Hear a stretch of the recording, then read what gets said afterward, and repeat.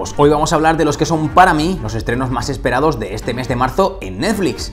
Así que guárdate este vídeo para no perderte nada y si te gusta el contenido del cine y las series, sígueme para enterarte de todo esto y mucho más. Yo soy Freakmaster.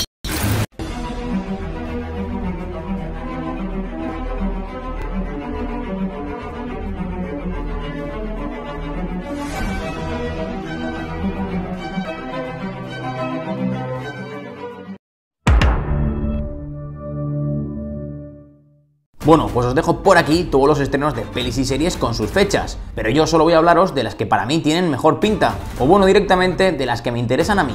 Esto ya es cuestión de gustos, pero aquí os dejo el calendario completo y pasamos a mis preferencias. 1 de marzo, El astronauta, película protagonizada por Adam Sandler. Tras seis meses en una solitaria misión espacial, un astronauta intenta hacer frente a los problemas de su matrimonio con la ayuda de una misteriosa criatura que encuentra en su nave con quien creará un extraño y peculiar vínculo, compartiendo sus anhelos y pasiones. El 6 de marzo la temperatura de Netflix se dispara con Super Sex. Esta serie inspirada en hechos reales nos cuenta la historia de Rocco y Freddy, que dejó atrás una vida humilde para convertirse en la estrella porno más conocida del mundo. Ofrece una visión profunda de la vida del actor, explorando sus orígenes, su familia y su relación con el amor. 7 de marzo, The Gentleman, la esperada primera serie de Guy Ritchie, proyecto creado a partir de su película homónima. Está protagonizada por Theo James. Eddie Orniman hereda inesperadamente el título de duque y la enorme finca rústica de su padre, la cual descubre que forma parte de un imperio del cannabis. Por si fuera poco, varios mafiosos de Gran Bretaña reclaman un trozo del pastel.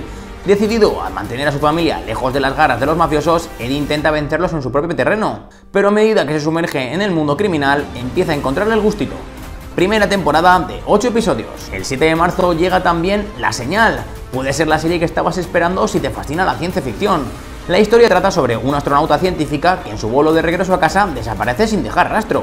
La cápsula donde debería haber viajado está vacía, nadie sabe nada de ella y no hay ninguna señal de su paradero en la Tierra o en el espacio. Su caso se convierte en un acertijo que solo su marido y su hija podrán resolver, aunque la solución podría conmocionar a todo el planeta, ya que el astronauta habría hecho un descubrimiento que parecía imposible. 8 de marzo, Damsel, película para toda la familia. Damsel no es un cuento de hadas al uso, aunque al principio lo parezca. Todo comienza como terminan los cuentos de príncipes y princesas que hemos leído toda la vida, Elodie es una joven que accede a casarse con un guapo príncipe azul, para vivir felices para siempre en un precioso castillo. Sin embargo, esta familia real esconde un oscuro y terrible secreto, una antigua deuda que solo pueden saldar con el sacrificio de mujeres jóvenes. Así que después de contraer matrimonio, Elodie es arrojada a la cueva con un dragón para morir como otras tantas chicas antes que ella.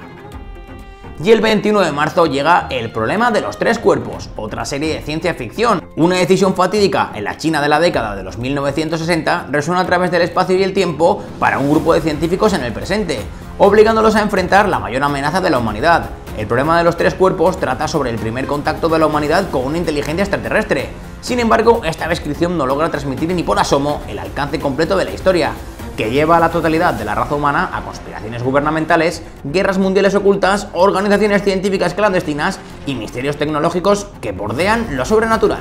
Primera temporada de 8 episodios que en un principio está pensada para 3 temporadas. Y nada más, estos son para mí los estrenos más esperados de este mes de Netflix. Déjame por aquí abajo en los comentarios qué te llama más la atención y qué estás esperando con más ganas. Si te ha gustado el vídeo puedes dejarme un buen like, suscribirte si no lo estás ya, que me ayudas un montón y ayudas al canal ya que este vídeo llegue a mucha más gente. Muchas gracias y nos vemos en el próximo vídeo.